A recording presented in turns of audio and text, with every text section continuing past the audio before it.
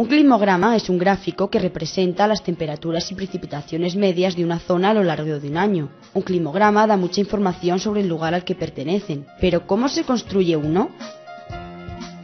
Los climogramas se representan en dos sistemas de coordenadas superpuestos. El de la izquierda representa las temperaturas en grados centígrados y el de la derecha las precipitaciones en milímetros. Ambos ejes empiezan desde cero.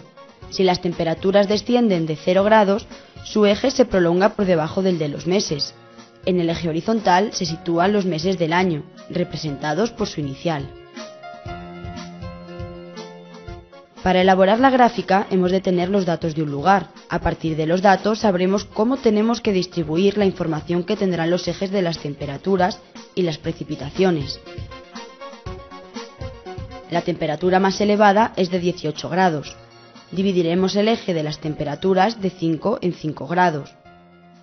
El mes más lluvioso fue el de enero con 145 milímetros de media. De este modo dividiremos el eje de las precipitaciones de 20 en 20 milímetros. Las marcas de uno y otro eje han de tener las mismas medidas.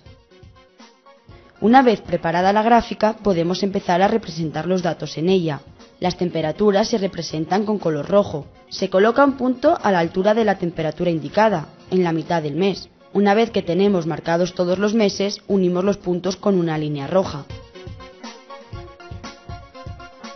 Las precipitaciones se representan en color azul y mediante columnas. Las columnas llegan a la altura que indican las precipitaciones en cada uno de los meses.